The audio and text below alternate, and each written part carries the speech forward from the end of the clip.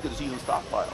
We never changed the markings yet. Uh-huh. I'd like to invite uh, Ward Bond to come up here, Regional Manager for Talking Signs Incorporated, who will tell us a little bit about the walking, the talking signs, and we'll have a demonstration uh, following uh, the, the last comments here.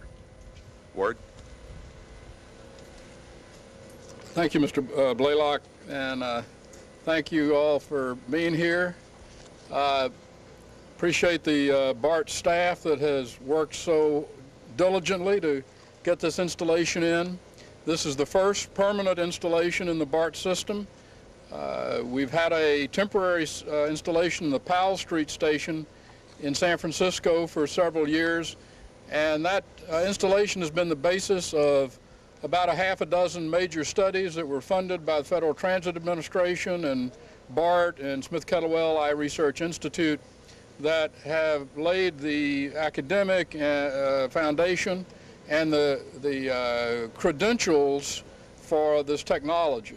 And so BART has been foundational in developing the base that now this technology rests on. One of the fruits of the efforts of Bart and the others who've worked on talking signs is that a month ago, the Intelligent Transportation Society of America, which is the association of transit agencies at all governmental levels and the industry that services uh, transit nationwide, uh, awarded Talking Signs Inc.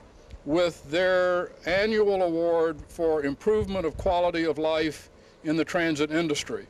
And I think all of uh, you can be very proud of having played an important role in that technology receiving that acclaim. First, I would like to thank BART and AC Transit for making this station as a permanent, uh, accessible location for people with print access problems. It doesn't only apply to blind and visually impaired people, but to anyone who has difficulty sorting out signs, especially print signs, and uh, confusing numbers and confusing locations and the pathway.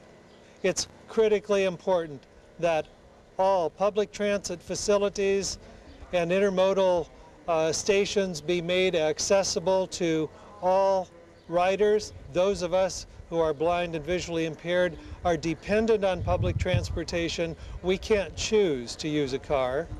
And those of you who need signage information, who can't quite read it visually, uh, join me in appreciating BART and AC Transit's efforts at making this location accessible. And it's very important when you can't see, or sometimes even when you can, to have direction. So as I am facing you, I know there's no information out here right at the minute. And for me to find the station door, I don't know how many degrees I've turned one way or another, but as I turn around, I'm going to be holding my receiver button on and listening for the signal. Fremont Station. Walkway to entrance to Fremont Station. Entrance to Fremont Station.